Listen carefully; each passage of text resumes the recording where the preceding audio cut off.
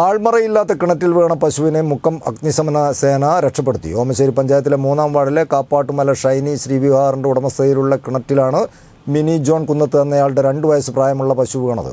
Mukkam fire and rescue നിലയത്തിൽ നിന്നും assistant station officer N വിജയന്റെ നേതൃത്വത്തിലുള്ള സംഘം ഉടൻ തന്നെ സംഭവ സ്ഥലത്തെത്തുകയും fire and rescue officer Abhilash കിണറ്റിലിറങ്ങിയ rope rescue belt എന്നിവ ഉപയോഗിച്ച് നാട്ടുകാരുടെ സഹായത്തോടെ പശുവിനെ സുരക്ഷിതമായി പുറത്തെത്തിക്കുകയും ചെയ്യുകയായിരുന്നു.